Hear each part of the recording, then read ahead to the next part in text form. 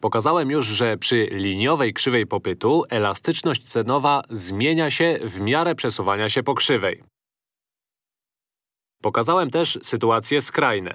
Popyt doskonale nieelastyczny i popyt doskonale elastyczny. W tym krótkim odcinku zastanowimy się nad krzywą, przynajmniej ją pokażę, która ma stałą elastyczność na całej długości. Przyjmijmy, że ta elastyczność będzie równa 1. Zatem będzie to krzywa popytu proporcjonalnego. Spróbujmy ją narysować. Pomoże nam to zrozumieć, czym jest elastyczność. Najpierw osie, a więc to jest oś ceny, a to jest oś ilości. Teraz napisałem o jedno T za dużo.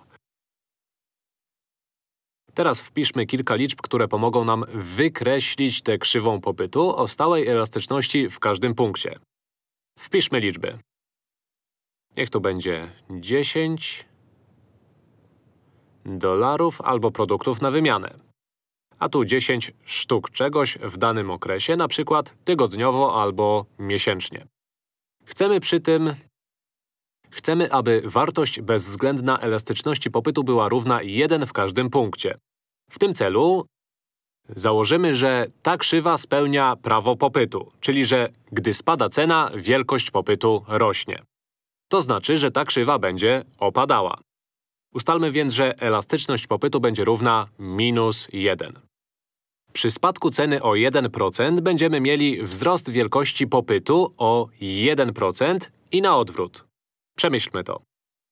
Jeśli jesteśmy tutaj i cena wynosi mniej więcej 10 dolarów, a wielkość to mniej więcej jedna sztuka, zastanówmy się, gdzie będziemy po zmniejszeniu ceny o 10%.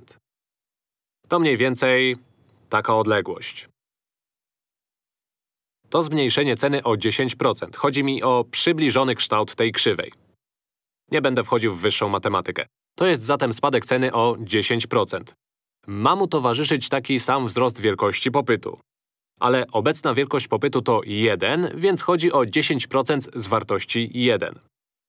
Takiemu 10% spadkowi ceny odpowiada zatem taki 10% wzrost wielkości popytu. Czyli tu, na górze, nasza krzywa wygląda tak. Jest dosyć stroma. A jak wygląda tutaj? I znów, obie wartości muszą zmienić się o 10%, bo chcemy, aby cenowa elastyczność popytu była równa 1 na całej krzywej.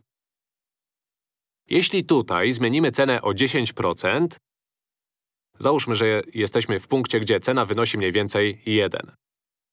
Tutaj zmiana ceny o 10% okaże się bardzo mała. To mniej więcej tyle. To w przybliżeniu 1 dziesiąta. Wiemy już, jak wygląda zmiana ceny. Zaś zmiana wielkości popytu o 10% będzie w tym miejscu dużo większa, mniej więcej taka, bo wielkość wynosi około 10, a 10% z tego to mniej więcej 1. Zatem w tej części wykresu krzywa będzie wyglądać tak. Będzie dosyć płaska.